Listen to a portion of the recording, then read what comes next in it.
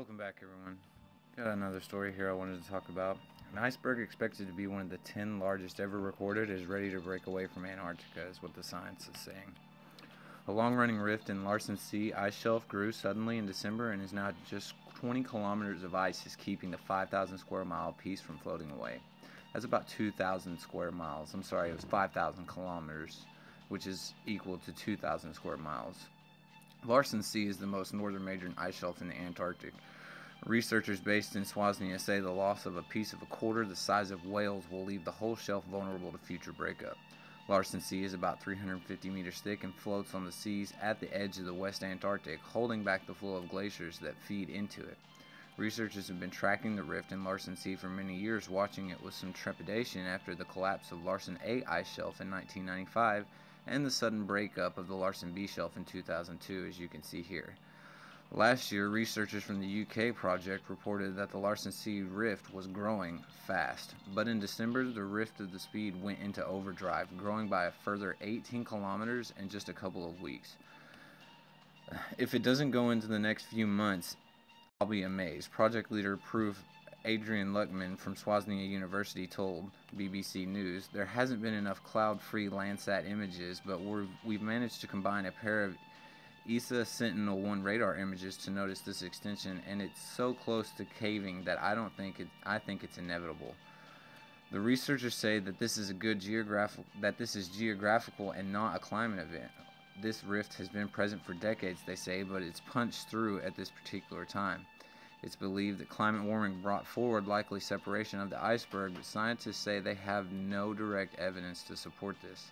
However, they are concerned about the breakoff that will impact the rest of the ice shelf, given that its neighbor Larsen B disintegrated spectacularly in 2002 following a smaller cal calving event. I mean, this is why we've got a big problem here with this.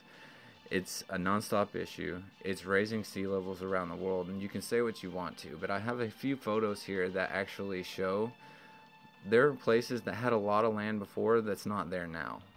It's losing, or the ocean is gaining water levels yearly, and it's not a lot piece by piece, but as the more and more start to fall in from those ice shelves in Antarctica, I mean, right there you can see plain as day we will lose more of our coastal land. The water will start to inundate the land, and we won't be able to live there. We won't be able to stay there. And it's happening in other places around the world too, not just here in America. Uh, it's such an issue now that we just don't even know how to tackle it anymore. I mean, everybody wants to say greenhouse gas is this, greenhouse gas is that, but now we've got scientists saying that greenhouse had nothing to do with the fact that this iceberg has moved into overdrive as far as wanting to crack off and break into the ocean. And like I said, I've got the credible evidence and pictures here that show you, you sea level rise is real. It is happening. And it's happening now at an accelerated rate faster than we ever thought we would see in our lifetime. It's time to fix it. And I think everyone is starting to get the message.